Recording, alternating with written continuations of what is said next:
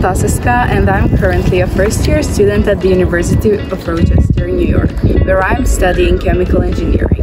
I was part of Yahya Kemal College Struga's class of 2020 and I graduated last year. The education that I got from this school has served as a very good foundation for my future studies. Furthermore, the diverse community that we have in Yahya Kemal has prepared me very well for my life in the United States. I am very thankful for the four years that I spent there and I will always cherish the memories and the experience that I gained. I sincerely thank the professors and the rest of the staff for everything that they have done for me. If it wasn't for them, then my dreams wouldn't have come true and I wouldn't be where I am today. Thank you very much.